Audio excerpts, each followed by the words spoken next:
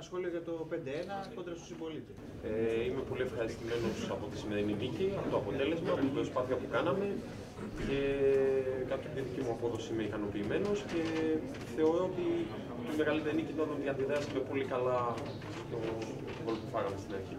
Ε, πρέπει να συνεχίσουμε έτσι, αυτή είναι η βασική σημασία. Σίγουρα μέσα από τις προπονήσεις προσπαθούμε να βελτιωθούμε συνεχώς και η αλήθεια είναι ότι δεν ξεκινήσαμε καλά και πάνω σε αυτό δουλεύουμε. Αυτή είναι η δουλειά μου.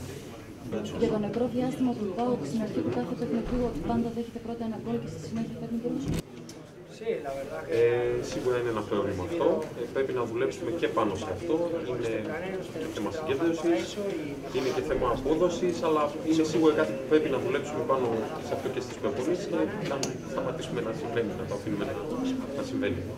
Και ένα σχόλιο τελευταίο για το συμπέκτη του, τον Μάρτιν, ο οποίος συστήθηκε στην Τούμπα με γκολ. Είναι ένας πολύ καλός παίκτης, ένα μεγάλος παίκτης. Είμαι πολύ χαρούμενος που είναι πλέον μέλος της οικογένειάς μας και ελπίζω να συνεχίσει να σκοράρει πολλά γκολ στην Τούμπα.